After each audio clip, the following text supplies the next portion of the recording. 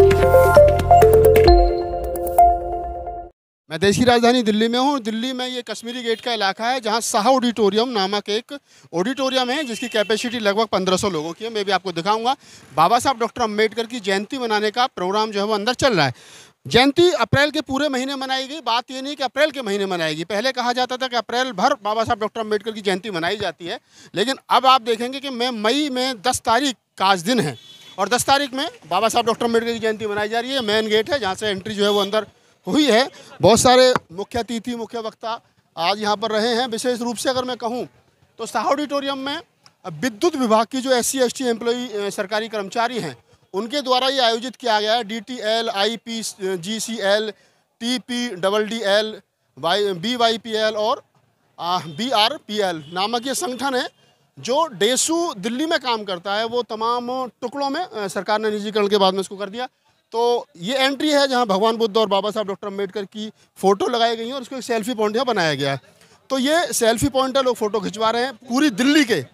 दिल्ली के जो सरकारी कर्मचारी हैं एस सी के, वो यहाँ इस प्रोग्राम को मना रहे हैं। राजेंद्र प्रसाद जी जो महामंत्री हैं उनके संचालन में प्रोग्राम हो रहा है और के पी चौधरी जो ऑल इंडिया एस सी सरकारी कर्मचारियों के जो संगठन है, उसके राष्ट्रीय प्रधान महासचिव हैं, ए आर जोशी साहब, तमाम लोग हैं जो समाज में अक्सर आप जिनको देखते हो काम करते हैं, लेकिन मुख्य अतिथि के रूप में दिल्ली सरकार के समाज कल्याण मंत्री राजकुमार आनंद जी यहाँ पहुँचे हैं और गोकलपुर विधानसभा क्षेत्र के विधायक चौधरी सुरेंद्र कुमार पहुँचे हैं। साथ ही और बहुत सारे लोग हैं, विशेष रवि विधायक पहुँचे हैं, विजय सिंह प्रेमी हाथरस से यहाँ पहुँचे हैं। वंदा सिद्धार्थ का विशेष गायन यहाँ हुआ है, वो कुशीनगर, उत्तर प्रदेश से चल करके आई हैं। तो बड़ी बात, इस जयंती को दिखाने का उद्देश्य मेरा सिर्फ़ इतना है कि ये कहा जाता था कि बाबा साहब डॉक्टर अंबेडकर की जयंती अप्रैल के महीने में मनाई जाती है। लेकिन आज मई की दस तारीख है, यानी डेढ़ महीना बाबा साहब डॉक्टर अंबेडकर की जयंती जो मनाई जा रही है वो दिन भी दूर नहीं है जब देश भर में पूरे साल भर बाबा साहब की जयंती का प्रोग्राम जो है वो चलता रहेगा। बहुत सारे लोग हैं यहाँ मैं कुछ एक लोगों से बातचीत करने की कोशिश करूँगा जानने की कोशिश करूँगा कि इस जयंती को क्या नाम है आपका? जगन्नाथ प्रसाद मेरा नाम जगन्नाथ प्रसाद जी बाबा साहब की जयंती मनाई जा रही है। दस मई हो गई आज तो अब क्यों? मतलब अप्रैल भर जयंती मनाई गई अब मई में भी बाबा साहब की जयंती मना रहे हो। देखिए सर इनक्रेडिबल चीज़ है ये। ये ऐसे महापुरुष हुए हैं। अब विश्वभूषण है भारत रत्न नहीं है ये। विश्व रत्न है। और इन्होंने ऐसा प्रकाश दिया कि जितना भी जयंती मनाई जाए वो इनके लिए कम है। जयंती मनाई जा रही है उनके विचारों पे भी काम हो रहा है। ऐसा तो नहीं है कि मोदी सरकार की तरह अ, फ़ोटो पे माला और विचारों पे ताला का प्रोग्राम चल रहा है। थोड़ा बहुत लैकनेस हर जगह होती है। इनका विचार जितना फैला है उतना विचार तो किसी आदमी का फैला ही नहीं। इनकी जो क्रांति दिया है हमारे बाबा साहब ने रूस के क्रांति से चाइना की क्रांति से और फ्रांस के क्रांति से तीनों क्रांतियों से ज़्यादा है ये। मैं आपके चैनल के माध्यम से बताना तीनों क्रांतियों से ज़्यादा है और एक दो लोग की राय ले लेते हैं। क्या नाम है सर आपका? मेरा राज बहादुर सिंह है। राज बहादुर सिंह बाबा साहब की जयंती का प्रोग्राम कर रहा है आपका संगठन। आज दस मई हो गई है। अप्रैल में ध्यान नहीं रहा भूल गए थे या फिर अप्रैल भर बिज़ी थे? नहीं सर ऐसा नहीं हमारी जयंती मिलती रहती है। पूरी साल बन बनाएँगे अब तो। हमारी हमारी जयंती बाबा साहब, वो मसीहा हैं हमारे। हम जितना उनके लिए काम करेंगे, वो सदियों नहीं मतलब हज़ारों साल ब- हर महीने, हर दिन बनते हैं। हर परिवार के शादी होते हैं, उन्हें बाबा साहब के नाम से प्रपोज किया जाता है। तो हमें बड़ी खुशी है कि हमने जो प्रोग्राम चला रहे हैं, या हमारा समाज चला रहा है, या आप जो हमें सपोर्ट करते हैं, ये हमारे लिए बहुत बड़ी बात है। हम बाबा साहब को और अभी हमें सुनने में मिला, भाई, चार पाँच दिन देख रहा था कि अमेरिका में वहाँ के जो वहाँ के जो अमेरिका में जो लोग हैं, उन्होंने बाबा साहब के नाम पे स्टार का नाम रखा, उन्होंने रखा अंबेडकर स्टार रखा हुआ है। तो हमें सबसे बड़ी है, वहाँ भी मतलब अमेरिका में बना रहे हैं। तो अब तो हम लोग समर्थ हैं और हम इसे पूरे तन से, मन से, धन से कोई समस्या नहीं। बाबा साहब का इतना हमारे पास ऋण है कि हम अपने उनको, उनके लिए अपने जूते बना के बांटेंगे तो भी हम उनको उद्धार नहीं हमारा उद्धार नहीं हो सकता। लोगों की भावनाएँ हैं कि बाबा साहब डॉक्टर अंबेडकर का इतना सम्मान है कि अगर वो चमड़े के जूते भी बना के पैदा थे तब भी बाबा साहब का नहीं उतार सकते। दूसरी तरफ़ देखेंगे तो उधर खाने का प्रोग्राम है, रात्रि भोज का आयोजन किया गया। मैं आपको अंदर लेके चलता हूँ और दिखाने की कोशिश करता हूँ कि अंदर जो ऑडिटोरियम है, उसका क्या हाल है। ऑडिटोरियम का मेन गेट है, यहाँ से एंट्री इसकी हो रही है, लोगों का आना जाना बरकरार है, लोग खाने पर भी हैं। पंद्रह सौ की कैपेसिटी इसकी ऑडिटोरियम की बताई जा रही है। अब देखते हैं अंदर चल के कि कितने लोग यहाँ पर हैं। तो ऑडिटोरियम जो है वो एक तरीके से आप देखेंगे कि पूरी तरीके से खचाखच भरा हुआ है और ऊपर बालकनी में भी लोग जो है जो जयंती का आयोजन का आनंद जो है वो ले रहे हैं। मेरे पीछे देखेंगे कि राज, राजकुमार आनंद जी जो दिल्ली सरकार के कैबिनेट मंत्री हैं, उनका संबोधन चल रहा है। संपादक थे, लेखक थे, पत्रकार थे, अर्थशास्त्री थे राजकुमार आनंद जी का भाषण चल रहा है। इनसे पहले तमाम वो लोग बोल करके गए हैं और मंच पर भी जिन लोगों का संबोधन होना, उनमें मान्य के पी चौधरी जी जो एल आई सी के एस सी सरकारी कर्मचारियों के प्रधान महासचिव हैं, उनके बाद में आयोग के सदस्य सुभाष पादरी जी का संबोधन होना, उसके बाद में यार जोशी जी का भी संबोधन होना कुछ एक लोग और हैं जिनको अपना स्पीच देना है और बाबा साहब डॉक्टर अंबेडकर के जीवन से जुड़ी हुई तमाम बातें जो वो लोग यहाँ बता रहे हैं कि बाबा साहब ने कितने संघर्ष से क्या, कैसे और कैसे कहा। गोकलपुर विधानसभा क्षेत्र के विधायक चौधरी सुरेंद्र कुमार का संबोधन हो गया, वो निकल चुके हैं। मंत्री जी का भाषण चल रहा है। मंत्री जी ने कहा कि जिस प्रकार से बाबा साहब डॉक्टर एक समाजशास्त्री थे, अर्थशास्त्री थे और एक बेहतर पत्रकार थे। तो मैं यही चीज़ आपको दिखाने की कोशिश कर रहा था। तमाम देश, दिल्ली प्रदेश के लोग यहाँ विद्युत के लोग जो हैं वो पहुँचे हैं। विद्युत डिपार्टमेंट के जो सरकारी कर्मचारी हैं, वो लोग वहाँ पहुँचे हैं। राजनाथ जी, क्या संदेश देना चाहोगे बाबा साहब, डॉक्टर अंबेडकर की जयंती मनाई आप लोगों ने आप? सबसे बड़ा संदेश तो है जो बाबा साहब का मिशन है, जो रास्ता बाबा साहब ने हमें दिया है, हमें उस रास्ते पे चलना चाहिए और जो मापदंड उन्होंने समाज के सामने रखे हैं, उस रास्ते पे चल के उस मापदंडों पे हमें चलने का प्रयास करना चाहिए।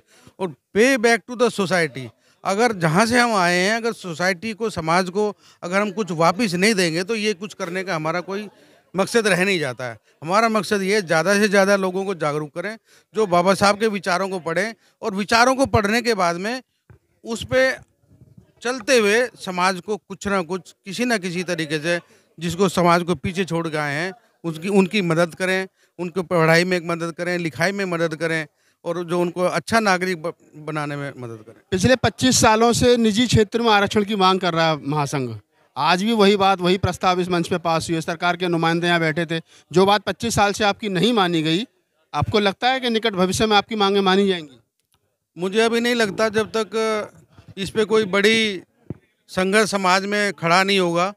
क्योंकि सब लोग जानते हैं संविधान पे देश, मैं ये मानता हूँ, कहने के लिए चल रहा है, आंशिक संविधान लागू हो रहा है। जिस दिन पूरा संविधान लगाने पे पूरा समाज ज़ोर दे देगा, पूरा सिविल सोसाइटी ज़ोर दे देगी तो वो दिन दूर नहीं, वो उनको करना पड़ेगा। क्योंकि रोज़गार हर आदमी को चाहिए। और बिना रोज़गार के देश भी आगे कैसे बढ़ेगा? देश कैसे तरक्की करेगा?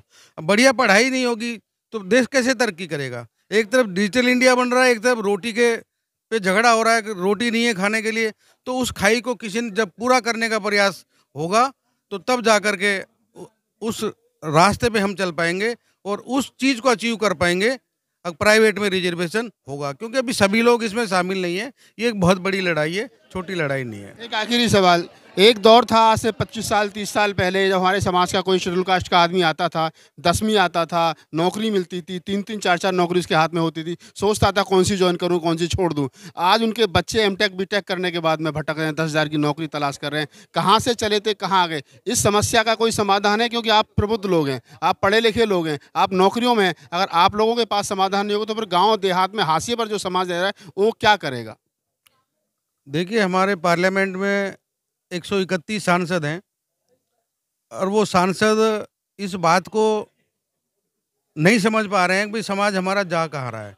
बाबा साहब ने अगर पॉलिटिकल रिजर्वेशन की जो बात की तो संख्या की दृष्टि से तो पॉलिटिकल रिजर्वेशन मिल गया, लेकिन वो वहाँ जा करके सिर्फ़ पार्टी की गाइडलाइन पे ही काम करते हैं, समाज के प्रति कोई काम नहीं करते हैं।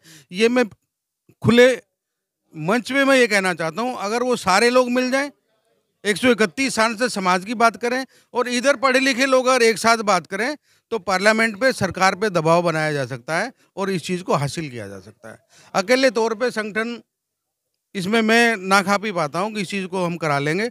जब तक एक पूरा माहौल, एक पूरा इस तरह का पूरे देश में एक ऐसी ऐसी क्या मजबूरी है जो राजनीतिक लोग जो है वो आपका समर्थन नहीं कर रहे हैं? आप वो भी सोसाइटी का हिस्सा हैं। शाम को चार दिन में कहीं रहे शाम को तो लौट करके घर में आना पड़ता है। बच्चे तो उनके भी बेकारी घूम रहे हैं ना। तो क्या मजबूरी है ऐसी? मजबूरी क्या है कि उनका व्यक्तिगत उनके इंटरेस्ट है। वो चाहते हैं कि हम दिखें तो इधर और खड़े हों वहाँ। उस तरह की सोच है। दोगली सोच रखते हैं। आए तो हम समाज से। सिर्फ़ खड़े होने में तो लगेगा हम समाज में हैं। लेकिन वो नज़र उधर आने चाहिए। उस तरह की सोच रखते हैं जब तक उनकी काउंसलिंग नहीं होगी पढ़े लिखे लोग सांसद नहीं आएँगे। गिनती पूरी करने के लिए ऐसे सांसद आते हैं जो कभी ना पढ़ना जानते हैं ना लिखना जानते हैं ना वो समझना चाहते हैं इन चीज़ों को ना वो बाबा साहब को पढ़ते हैं। वो क्या पढ़ते हैं वो हमें नहीं पता। काफ़ी लंबे समय से मांग चल रही है कि राजनीतिक आरक्षण जो खत्म हो जाना चाहिए। कम से कम एक संतुष्टि हो जाएगी कि पार्लियामेंट में अब हमारे राजनीति में क्या नाम है प्रतिनिधित्व करने वाले लोग नहीं है तो कम से कम मन को संतुष्टि रहेगी। अब ये मजबूरी हो गई है ये पॉलिटिकल आरक्षण खत्म इतनी आसानी से होने वाला नहीं है, क्योंकि वो लोग पार्टियों के साथ जुड़ गए हैं और जितने लोगों को वो, जिनको चाहते हैं, उनको खड़ा करके जिता लेते हैं, अपना बेनिफिट साध लेते हैं, सरकार बना लेते हैं। तो मुझे नहीं लगता पॉलिटिकल आरक्षण ये खत्म होगा। ये तो उनके लिए एक बढ़िया चीज़ मिल गई है उनसे। जो चाहो वो करवा लो, जो चाहो वो रेजुलेशन करा लो, जो चाहो कैबिनेट में पास करा लो, जो चाहो पार्लियामेंट में पास करा लो, जो चाहे विधानसभा में पास करा लो। जो पार्लियामेंट में स्थिति है वो स्थिति स्टेट गवर्नमेंट में भी एक जैसी स्थिति है। चलिए तो आप राजेंद्र प्रसाद जी थे जो अ, सरकारी कर्मचारियों का अनुसूचित जाति अनुसूचित जनजाति बुद्धिस्ट सरकारी कर्मचारियों का जो संगठन है जिसमें बताया जाता है कि एक समय चालीस लाख सरकारी कर्मचारी हुआ करते थे जिनकी संख्या घट करके अब कुछ लाखों में रह गई है शायद दो लाख तीन लाख या चार लाख रह गई है। अ, पूरा पक्का डाटा तो नहीं हमारे पास भी लेकिन ये सच्चाई है कि बाबा साहब डॉक्टर अंबेडकर की एक जयंती आज यहाँ मनाई गई दस मई में यानी डेढ़ बाबा साहब की जयंती अप्रैल के महीने में मनाई जाती थी।